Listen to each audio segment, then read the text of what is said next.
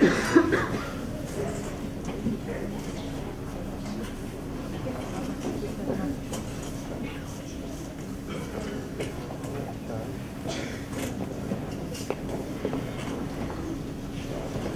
so much for you not writing down. I,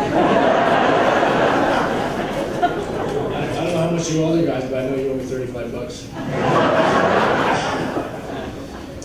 Uh, I've seen so many guys come up here and go through these speeches, uh, unbelievable guys, your Dean and Cam Ferguses and J.C. Sawyers, and I guess I never really thought my day would come, and uh, here I am, and four years went off the quick, it's, uh, it's kind of scary. Uh, First and foremost, I'd like to start off and thank my family. Uh, They made the trip up for, uh, for this banquet. I'm sure there's plenty of times throughout my life that you might have wanted to go somewhere or buy something, or, you always gave me the money to uh, play whatever I wanted and uh, be the best I could be. So uh, I might not tell you that much, but now you know how much I appreciate it.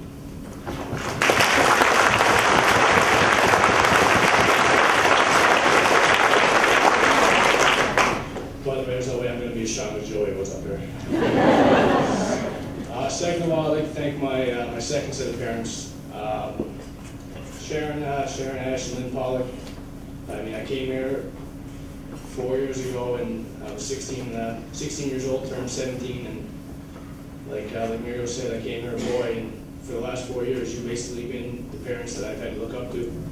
Uh, whether it was a bad game or a good game, uh, personal reasons, anything at all, you were always there to comfort, support me. Uh, there's no way in my life I'll ever forget you two. Uh, I appreciate everything you've done, and I love you like family.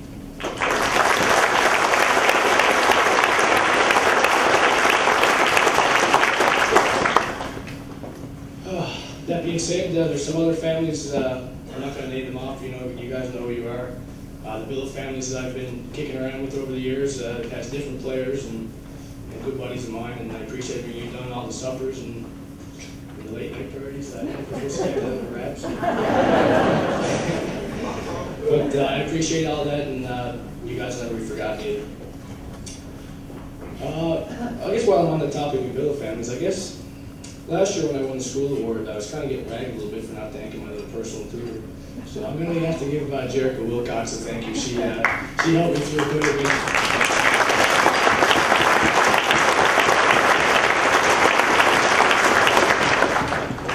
Uh, moving on, I guess I'd like to thank, uh, I'd like to thank the staff, uh, Scotty, John, John, Bearcat, Mario. That's just the hockey guys. Uh, then we have the office staff, Paul, Pauline, Lorna, uh, Pete, uh, the list goes on. Uh, dressing room staff, Al. I think this year I went to surfboard and anything. I don't know how you put up with it.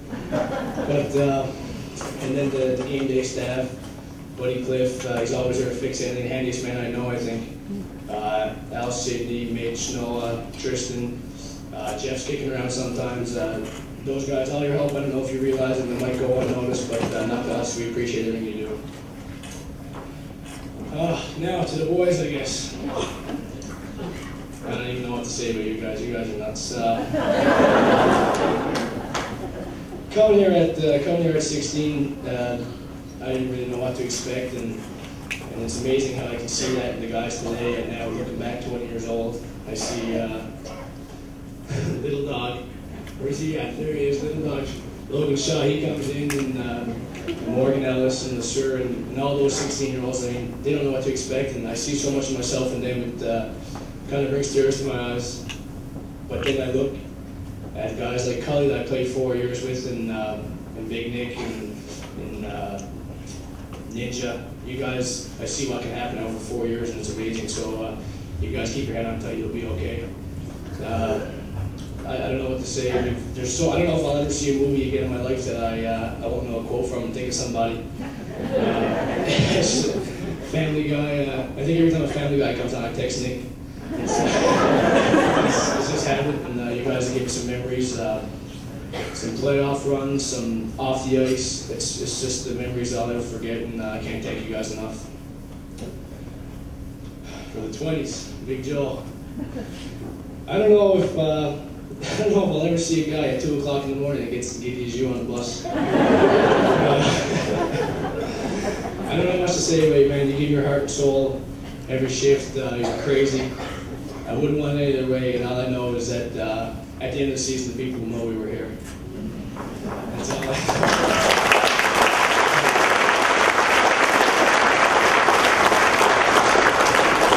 And, uh, big call after four years. Uh, I finally know what to expect in training camp. It's, it's a little funny, I guess I'm going to tell that story. I was coming in at uh, 16 years old. Cully was here for one year. I knew him for training camp. And I mean, I played under 17 with him. I didn't really know him that much. A couple of words at under 17 just to get, uh, just enough to be teammates, really. And every time he signed on to MSN and uh, over the summer of my 16 year, I'd ask him what was in training camp. How much weight do we have to lift? How long was the how long was the test? And he was getting a little. I think he ignored me at the end. Didn't even talk to me. So uh, no, but really, uh, ever since I came here, I looked up to you. I mean, I know I'm 20 and you're 20, but uh, you were always my leader. You, I followed you along, and I, I can't thank you enough for that. So uh, for you two guys, I know you guys are going to be great. Uh, Cully, whatever you do, Joey next year. Uh, I love you guys, and I can't. Uh, I wouldn't rather spend my 20 year with anybody else.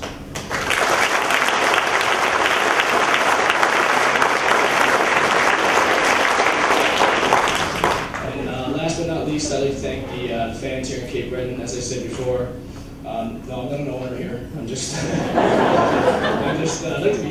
uh, no, but ever since I came here, uh, the transition was smooth. You guys took me in as, uh, as one of your own, and there's not a place I'd rather play. I, as Mario said, I grew from a boy to, uh, to a man in four years, and I owe it all to you guys. There's nothing better than coming on the ice and uh, hearing you guys cheering.